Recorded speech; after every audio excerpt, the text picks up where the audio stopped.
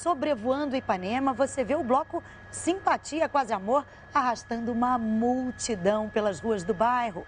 Este ano, o desfile é em homenagem ao centenário do compositor Noel Rosa. O bloco, um dos mais tradicionais da cidade, com 25 anos, saiu da Praça General Osório pouco depois das 4 horas da tarde. Nesse momento, percorre a praia na Avenida Vieira Soto. Os foliões seguem até o Jardim de Alá, onde se dispersam.